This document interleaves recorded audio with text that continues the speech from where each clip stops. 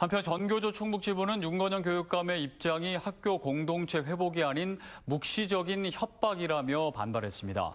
전교조 충북지부는 현재 자발적으로 이루어지고 있는 추모 행동을 비롯한 모든 추모 집회에 조합원들이 교사 개인으로 결합할 수 있도록 적극 안내하고 지지할 것이라고 밝혔습니다.